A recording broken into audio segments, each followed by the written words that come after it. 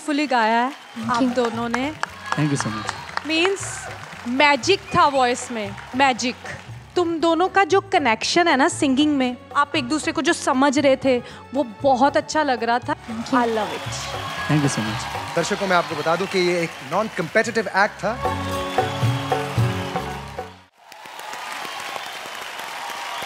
दस दिसंबर 2022 की वो ठंडी रात। जैसे ही यहाँ एक बंदे ने अपनी सख्ताई दिखाई और काव्या से राखी बंधवाई। पाँच करोड़ छोरियाँ बावरी हो गई। कल ये एक गली से गुजरे, जब एक सुंदर और घमंडी लड़की ने इनको यूँ उंगली दिखाकर अपने पास बुलाया और कहा, हमारी खूबसूरती की शान में तो लाइन कहो। ये उसके पास गए और बड़े रोमांटिक अंदाज में बोले roses are red violets are blue तेरे एटीट्यूड के लिए दो ही वर्ड्स थू थू थू सख्ताई देखो.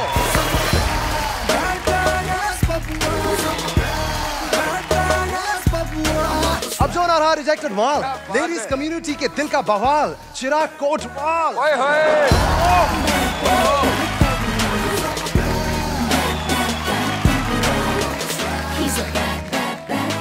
एटीट्यूड अभी भी रिजेक्शन का छाया हुआ है bro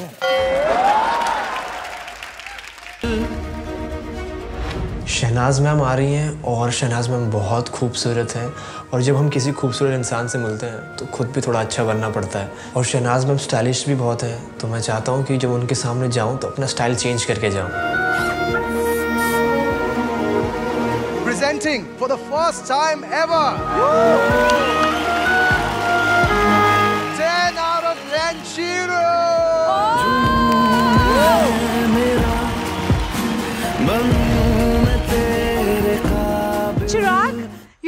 mind oh my god.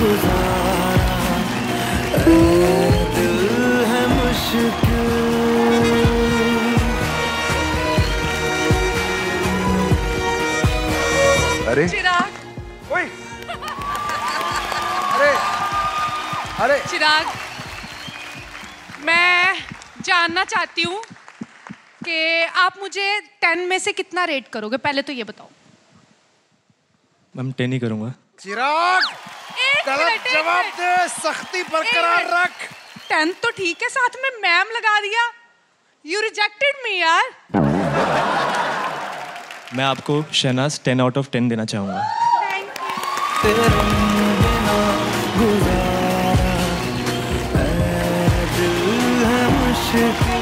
Thank you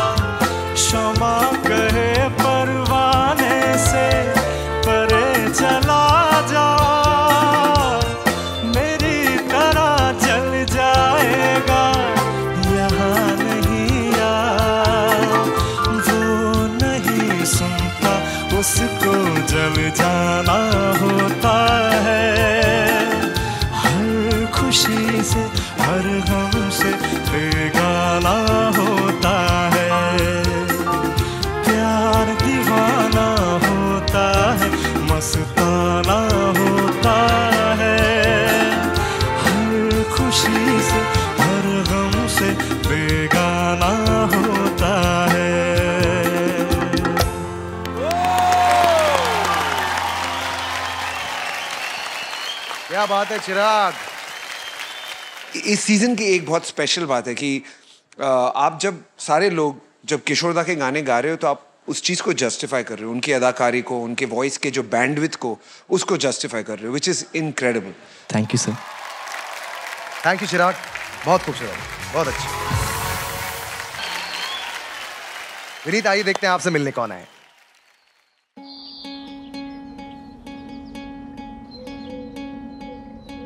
मेरा नाम शीतल प्रकाश मोरे मैं फांगने गाँव की हूँ और अजीबाई स्कूल में मैं टीचर हूँ।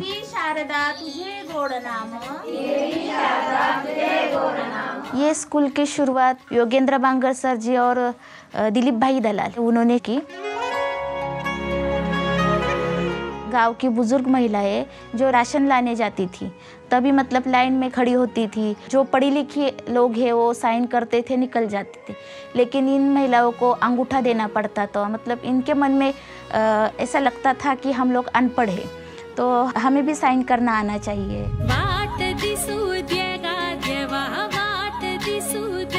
मतलब उनको ऐसा लगता था हमें कुछ तो कमी है। हमारी इतनी उम्र हो गई लेकिन हमारी जो ख्वाहिश थी पढ़ने लिखने की वो तो कभी पूरी नहीं हो सकती। दादी की पाठशाला शुरू करते इसका नारा लगाया तो इतनी दादी और लोग दौड़ के आई कि इसकी शुरुआत ही कम से कम बत्तीस तैतीस अजी से शुरुआत हो गई।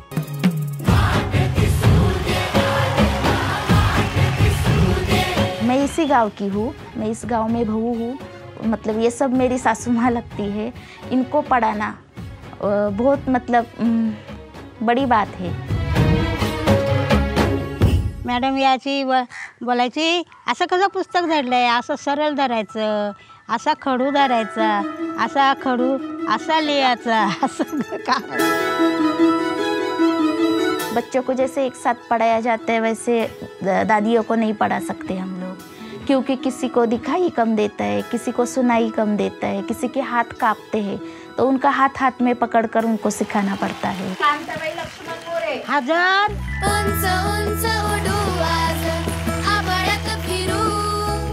दूर दूर रानातल्या झुल्यामंदी झुलू काय परमेश्वराची कृपा तर खरोखर आम्हाला ह्या आजीबाईच्या शाळेमुळं एवढा मान आहे. अख्ख्या जगामध्ये लोक आम्हाला ओळखतात. आम्ही ह्या पाटलावरून आम्ही कुठं गेलो ना का आमचं अशी दर्शन घेतात. ये गळा दिवस आज ये गळी आज हमारे इस फांगने गाँव को आजी की पाठशाला के नाम से जाना जाता है। आम्ही इंडियन आयड इंडिया आयडल बघतो. आम्हाला खूप आवडते.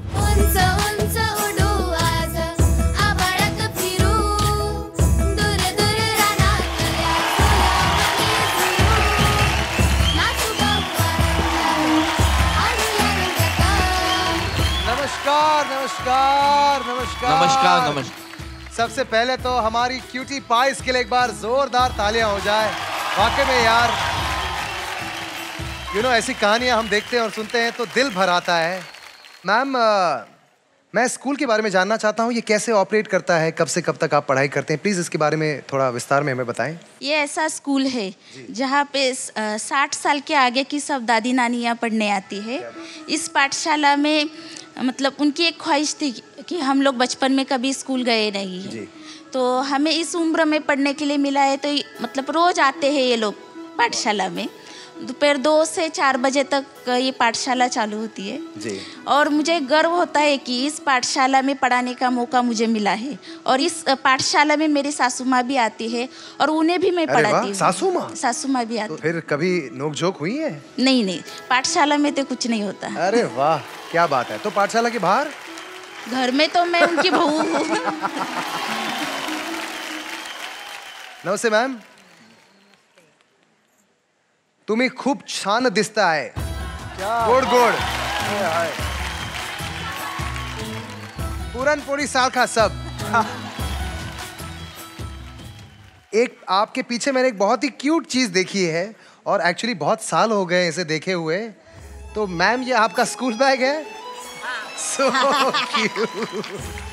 एच आर जजेस विशु सर देखिए ना। क्या बात है। प्यारा सा स्कूल बैग है। आम्ही शाळेत घेऊन जातो. हाँ बिल्कुल. पहिले लहानपणी आम्ही शाळेत गेलो नाही आम्हाला खूप हौस होती हो. पण वडिलांनी शाळेत जाऊ दिली नाही. आम्ही पाच भावंडा. वडील बोलले दोघांना शिकू दे तुम्ही नका जाऊ. आम्ही तिघी बहिणी घरीच राहिलो. आता बांगरसराई आजीबाईची शाळा सुरू केली. तेव्हा असं वाटलं ना आता तरी शिकावा. ह्या वयेमध्ये तरी सही आली तर आली. शाळेत गेल्यानंतर खडू कसा पकडायचा पाटी कशी पकडायची काहीच कळत नव्हतं.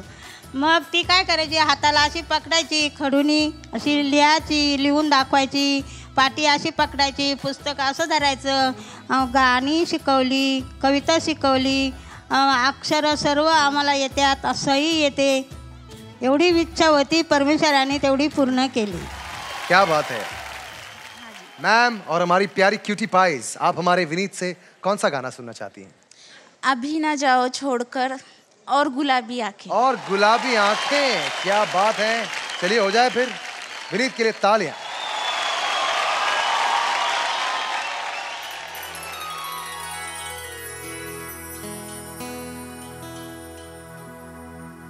अभी न जाओ छोड़ कर के दिल अभी भरा नहीं, अभी ना जाओ छोड़ कर के दिल अभी भरा नहीं, अभी ना जाओ छोड़ कर के दिल अभी भरा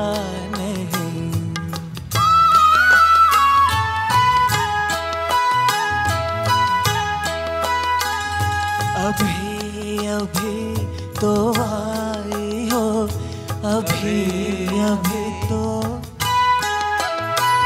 अभी अभी तो आई हो, बाहर बन के छाई हो। हवा जरा महक तो ले, ये दिल जरा बहक तो ले, ये शाम ढल तो ले। जरा।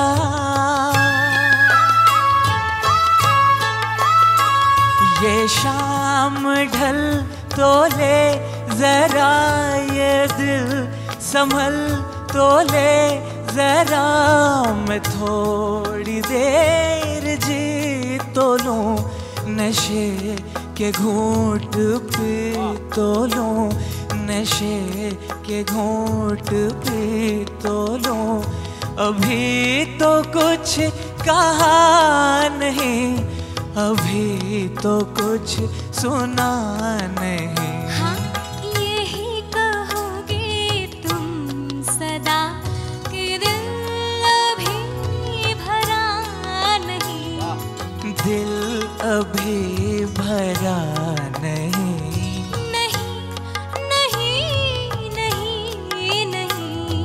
अभी ना जाओ छोड़ कर। के दिल अभी भरा नहीं।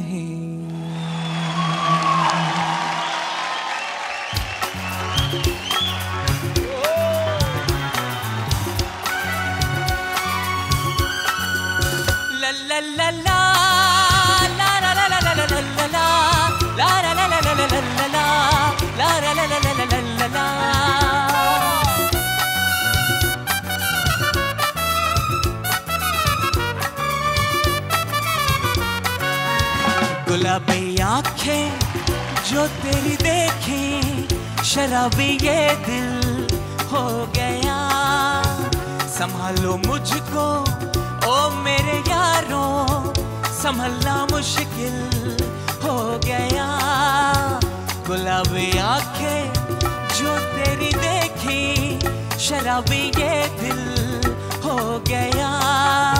संभालो मुझको, ओ मेरे यारों संभलना मुश्किल हो गया।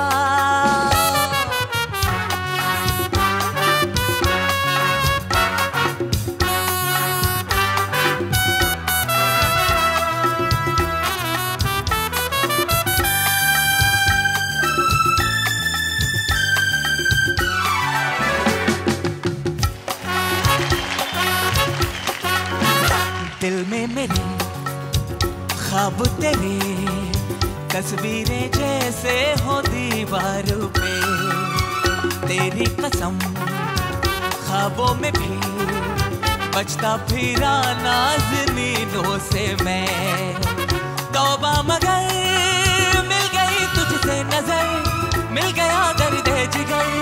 क्या कहूँ ए दिलरुबा जरा सा हंस के जो देखा तूने मैं तेरा बिस्मिल हो गया। गुलाबी आँखें जो तेरी देखी, शराबी ये दिल हो गया। संभालो मुझको, ओ मेरे यारों, संभलना मुश्किल हो गया। गुलाबी आँखें जो तेरी देखी, शराबी ये दिल हो गया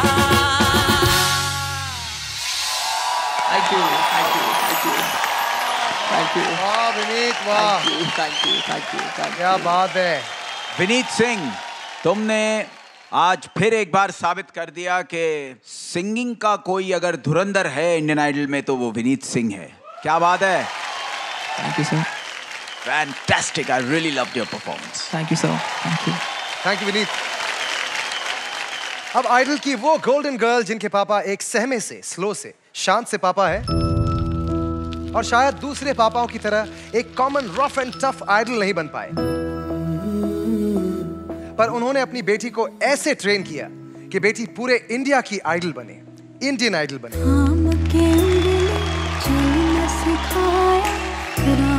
तभी जो बेटी अपने पापा के कदमों पर बिछा देना चाहती है दुनिया का हर जॉय देवोष्मिता रॉय।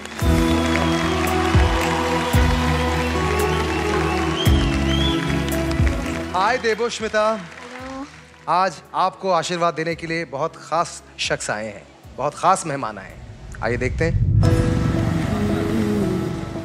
ज़िंदगी में अगर हौसला और जज्बा हो तो हर मुश्किल को पार किया जा सकता है। और ऐसी हैं श्रीमती सविता। सिर्फ़ 26 साल की उम्र में ही उनके पति का देहांत हो गया।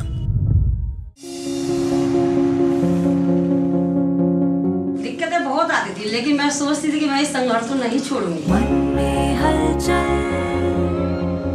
खुद से मुलाकात बाकी है। जैसे जैसे मेरा काम बढ़ते गया वैसे वैसे मेरे को खुशी मिलती गई वैसे मैंने घर वर भी बनाया बच्चों को भी पढ़ाया लिखाया फिर उसके बाद कार लिए तो अब सभी हमारा परिवार बहुत खुश रहता है।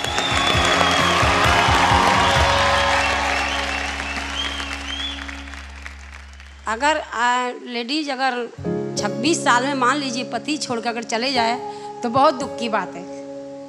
मैंने सब कुछ ये किया, अपने बच्चों के लिए किया। उस समय मेरे पास कुछ भी नहीं था, यहाँ तक कि कपड़े नहीं थे पहनने के लिए। ना कोई ससुराल वाला साथ दिया मेरा, ना ही मैके वाले साथ दिया। रहा है, पंछी को दाना। बच्चों के लिए फिर मैं खाना ही बनाना बस आता था, मेरे क्योंकि मैं ज़्यादा पढ़ी लिखी नहीं थी उस समय। उसके बाद मैं टिफ़िन बनाना चालू करी, जिससे कि माँ, मेरे पास थोड़ा थोड़ा पैसा आना चालू हो गया।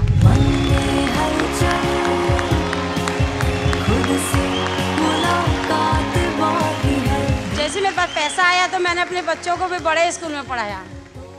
उसके बाद मैंने अपने बेटे को इंजीनियरिंग कॉलेज भी कराया है। उसके बाद मैंने अपना घर बनाया, पैसा जोड़ के घर बनाने के बाद आज भगवान की कृपा है कि मेरे पास सब कुछ ऊपर वाले ने साथ दिया है मेरा।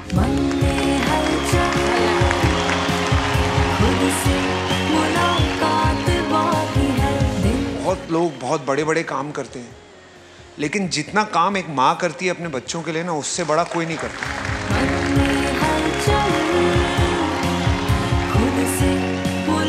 बहुत स्ट्रांग हो, ये जो आप अपना स्ट्रगल बता रहे हो, मैं कहती हूँ, बहुत अच्छा हुआ आपके साथ कि आप इतनी स्ट्रांग बन गई हो। अगर ये स्ट्रगल ना करती, भगवान ना कई बार सिखाता है। जब हम स्ट्रगल करते हैं ना इन चीज़ों में तो वो सिखा रहा होता है हमें कि ज़िंदगी कैसे जी। हमें लगता है, हमें क्यों दुख है, हमें क्यों दुख है? आपने हिम्मत नहीं हारी। सो कॉन्ग्रेचुलेशन मैम आपको हमारी देवोश्मिता कैसी लगती है? ये भी आपकी तरह बहुत मेहनती हैं और बहुत प्यारी बच्ची है। मेरे को बहुत प्यारी लगती है देवोष्मिता मैं आपके गाने सुनती हूँ तो मेरे को बहुत शगुन मिलता है बेटा। और आपके पापा भी बहुत मेहनत करते हैं। मैं चाहती हूँ कि एक दिन आप भी अपने पापा के लिए बहुत बड़ा सा घर बनाएँगे।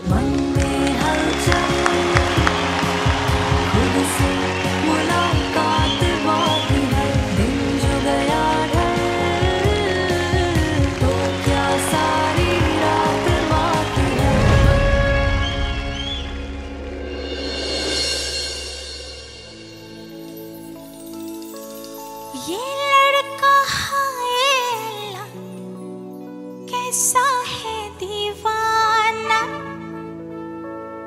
कितना मुश्किल है तो इसको समझाना। कि धीरे धीरे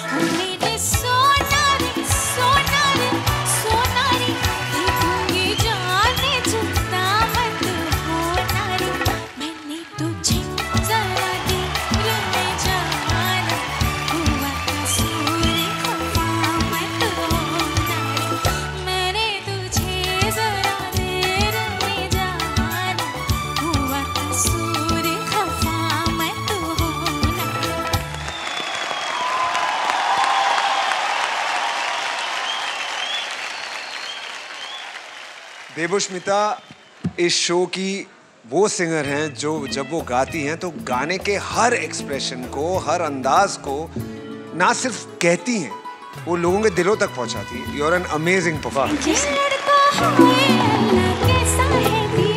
hi Devo hello ma'am आप जब गा रहे थे मुझे लगता है कि मेरे चेहरे पे आपकी आवाज़ बहुत सूट करेगी।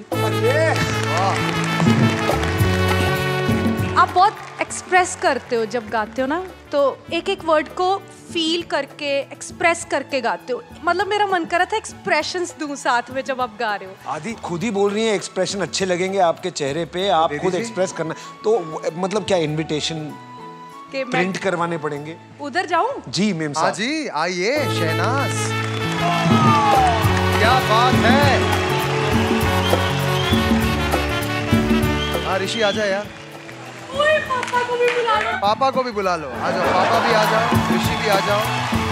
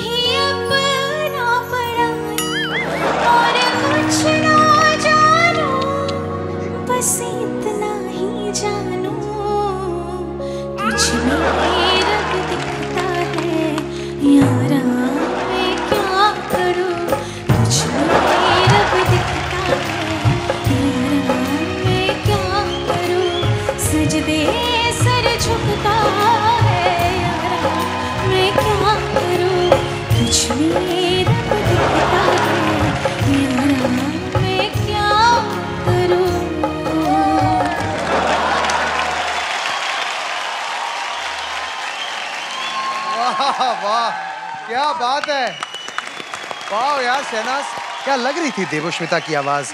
हमारी शहनाज की एक बार शहनाज के लिए जोरदार तालियाँ हो जाए। अगली जो फरमाइश है वो हमारे दो कंटेस्टेंट्स के लिए है जो अ, मुझे लगता है कि सोनी के साथ कॉन्ट्रैक्ट साइन कर चुके हैं कि अगर गाएँगे तो एक दूसरे के साथ ही गाएँगे वरना नहीं गाएँगे। Please welcome Rishi and Vidipta.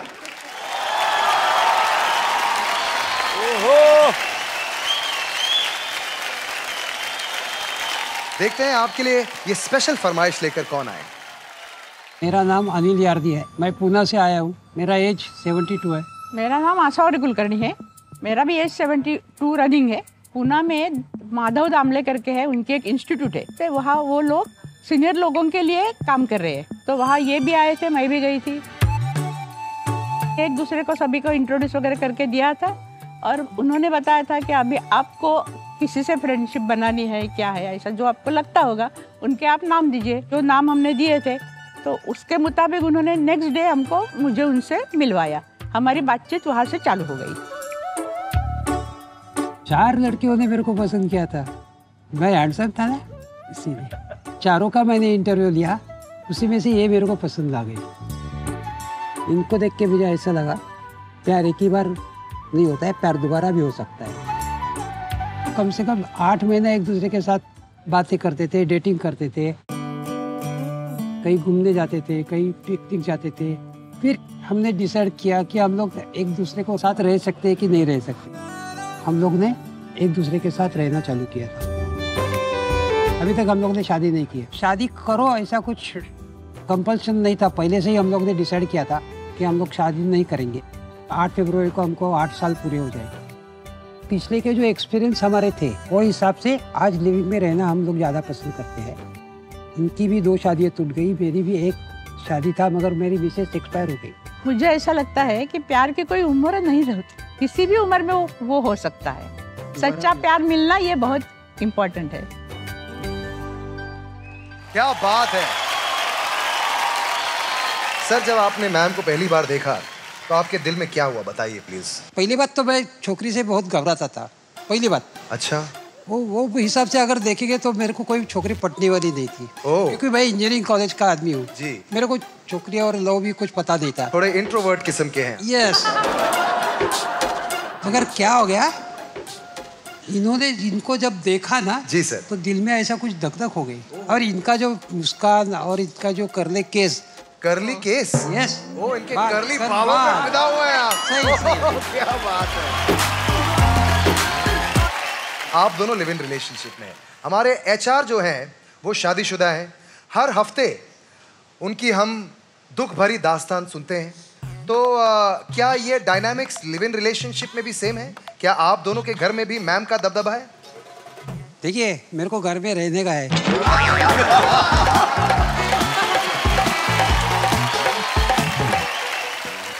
मैं अपनी बीवी का दास हूँ चरण दास बोलते हैं मुझे। और जहाँ तक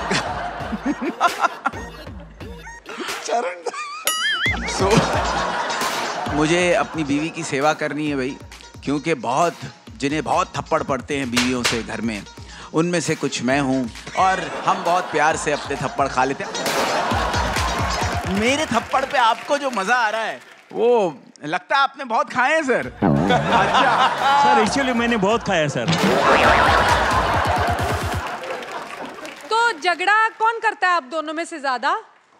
मैं ही करता हूँ। तो फिर आप उन पे क्यों लेकिन जीतते नहीं है ना। हाँ, झगड़े करते होंगे लेकिन जीत नामुमकिन है। कौन सा गाना सुनना चाहिए? ये रातें ये मौसम नदी का किनारा ये चंचल हवा। ये प्यारे से गाने सुना दीजिए ऑल द बेस्ट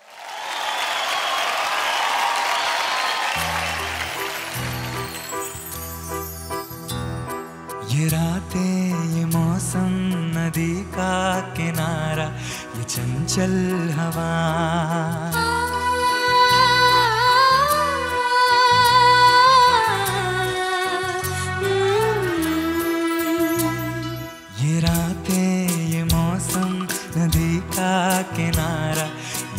ये चंचल हवा। कहा तो दिलों ने कि मिलकर कभी हम न होंगे जुदा। ये रातें ये मौसम नदी का किनारा ये चंचल हवा।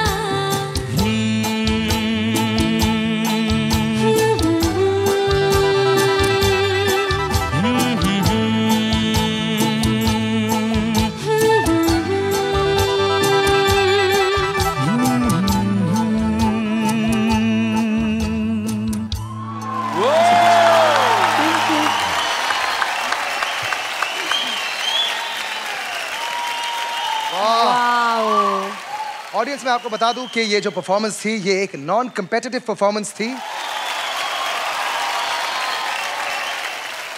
हम हैं क्योंकि ज़िंदगी में ख्वाब है। हमारे जजेस एचआर और विशु सर का ख्वाब था कि स्टेज पर जो भी हो, फाड़ू हो।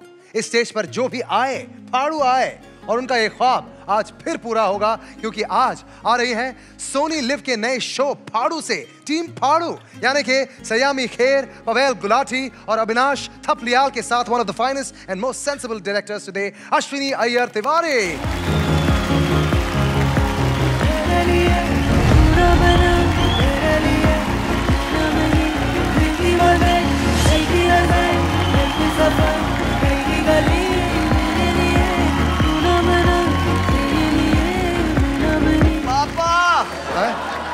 अरे भाई ये तो ये तो जगत पापा बन चुके हैं। आप सबका इंडियन आइडल में स्वागत है। Thank you so much for coming here और मेरा पहला बहुत ही अहम सवाल आपसे ये है कि आपके शो का नाम फाड़ू है तो इसमें क्या फटता है?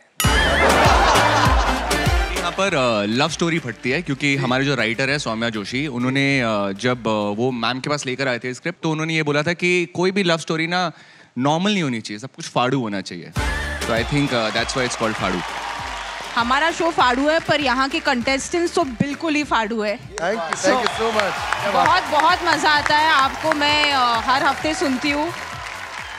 मेरा तो इंडियन आइडल के साथ तो बहुत पुराना रिश्ता है। जब भी मेरी कोई भी फ़िल्म आई है तो I have always use the singers from Indian idol it is very nice कि हम यंग टैलेंट को इंकरेज करें and the whole world sees you आपको सिर्फ़ अच्छा काम करना है और लोग आपको आएँगे ढूँढने के लिए। Thank you so much once again and wish you all the very best आपके इस नए शो फाड़ू के लिए। Please take your seats enjoy our show और अब आलसी नंबर वन इनकी क्रूर माँ ने सोफे पर आलस को एंजॉय करते हुए अपनी बेटी से कहा, बाहर जाकर देख, ठंड है क्या? बेटी बोली, खिड़की से देखो ना, सबने स्वेटर पहना है मतलब ठंड है। माँ बोली लाइट ऑफ़ कर दे, रोशनी चुभ रही है। ये बोली, आँख बंद कर लो लाइट नहीं चुभेगी। माँ बोली, आलसी लड़की, कम से कम दरवाज़ा तो बंद कर दे। ये बोली, दो काम मैंने ऑलरेडी कर दिए हैं, ये वाला आप कर दो। गर्ल और तभी भगवान भी जिनसे कहते हैं, सोनाक्षी, कुछ कर। सोनाक्षी कर। सोनाक्षी आज आपने क्या तैयारी की है? आदि भैया आज इतने स्पेशल गेस्ट्स हैं हमारे बीच जो खासकर हमारे लिए आए हैं और ये इतने एनर्जेटिक है तो मुझे उनकी एनर्जी मैच करनी थी तो मैंने सोचा मैं कैसे निभा पाऊँगी? तो मैंने एक लंबी सांस ली और अपने आप पे पूरा भरोसा किया कि ये परफॉर्मेंस को यादगार बनाऊँगी। बिल्कुल सही किया। अपने आप पे फुल भरोसा रखो और शुरू हो जाए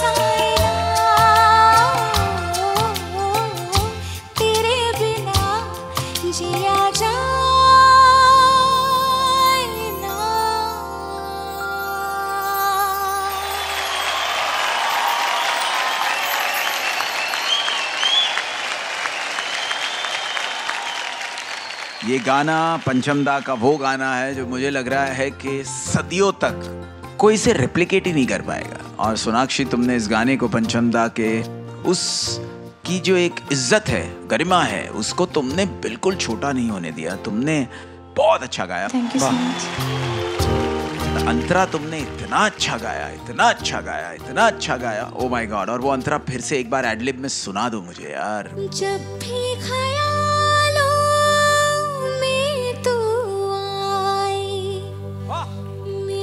बदन से खुशबू आए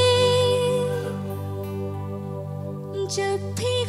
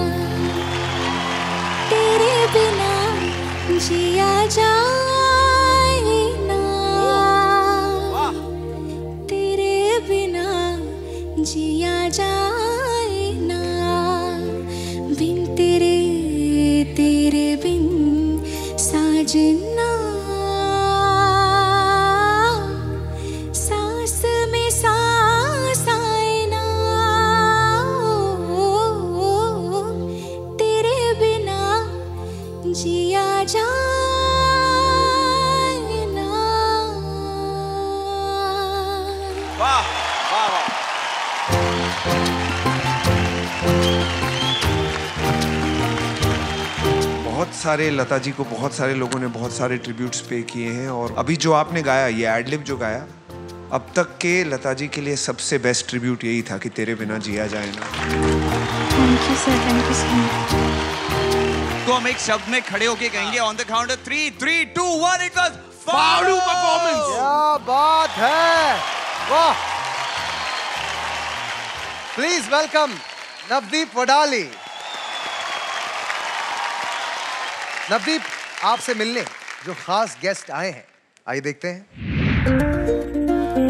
पिचासी साल की उम्र के नाना जी यानी श्री आर के चौधरी, जिन्होंने इस उम्र में कुछ ऐसा सोचा जो आम आदमी की सोच से परे है। उम्र के इस पड़ाव में वो एक सफल एंटरप्रेन्योर बने। अपने और अपने परिवार में आई हर एक हेल्थ प्रॉब्लम को उन्होंने खुद ही अपनी आयुर्वेद की नॉलेज से सॉल्व किया। जब एक बार उनकी बेटी ने उन्हें अपने हेयर फॉल प्रॉब्लम के बारे में बताया तो उन्होंने अपनी 25 साल की आयुर्वेद की रिसर्च से एक हेयर ऑयल बनाया जो इतना कारगर साबित हुआ कि उनकी बेटी के न सिर्फ़ बाल झड़ना बंद हो गए बल्कि मज़बूत भी हो गए। और उन्होंने अपने इस प्रोडक्ट को आस पड़ोस के लोगों को भी फ्री में दिया पर धीरे धीरे प्रसिद्धि बढ़ती गई। जिसमें उनका पूरा सहयोग दिया नानी जी, यानी कि उनकी धर्मपत्नी शकुंतला जी ने। एक छोटे से घर के किचन से शुरू हुआ ये काम आज एक तीन मंजिला बिल्डिंग का रूप ले चुका है। और सिर्फ़ तीन चार सालों में ही आज उनका ये बिज़नेस करोड़ों का हो चुका है। वो कहते हैं, सपनों की कोई उम्र नहीं होती। ये साबित किया है पिचासी साल के नाना जी और लगभग अस्सी साल की नानी जी ने। उम्र के इस पड़ाव में एक सफल ऑन्टरप्रनोर बन के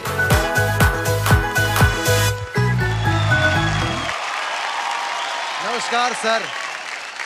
क्या शो चुना है आपने आने के लिए? क्या बात है सर? तीन सीज़न से हम ये खोज रहे हैं। कोई? ये कौन? कैसे? कैसे? कब? और आज साक्षात आपने दर्शन दे दिए सर। ये मेरा सौभाग्य। क्या बात है सर? और आपकी जो टैग लाइन है ना कि बाल तो उगा के ही छोड़ूँगा। ये लाइन है? हाँ हाँ हाँ। क्या कुछ इनके बालों का आप कुछ कर सकते हो क्या?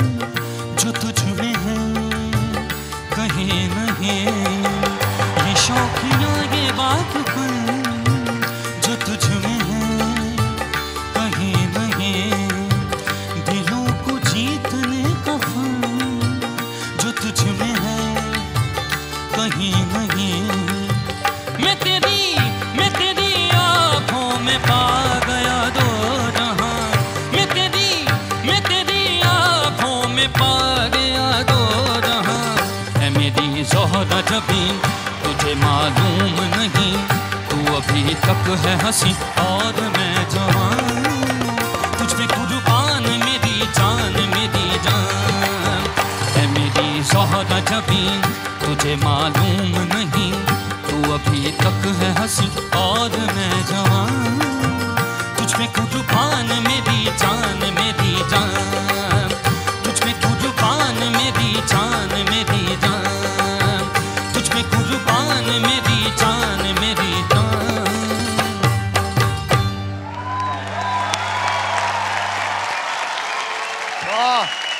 बात है नवदीप। नवदीप तुम आज इस टाइप के गाने को जिस तरह से निभा गए वो मेरे लिए एक शॉकर था बिकॉज़ तुमने जो अपने होम ग्राउंड पे जिस तरह से तुम तान लेते हो आलाप लेते हो वहाँ पे तो बात ही खत्म हो जाती है कि भाई नवदीप से बेटर कोई है ही नहीं। लेकिन तुमने इस जोन को भी बहुत अच्छी तरह निभाया। ये अपने आप में एक बहुत बड़ा चैलेंज है। थैंक यू अश्विनी जी आपको नवदीप का परफॉर्मेंस कैसा लगा? बहुत बहुत अच्छा। क्योंकि एक सेंस ऑफ़ सूफीज़म है और एक स्पिरिचुअलिटी है गाने में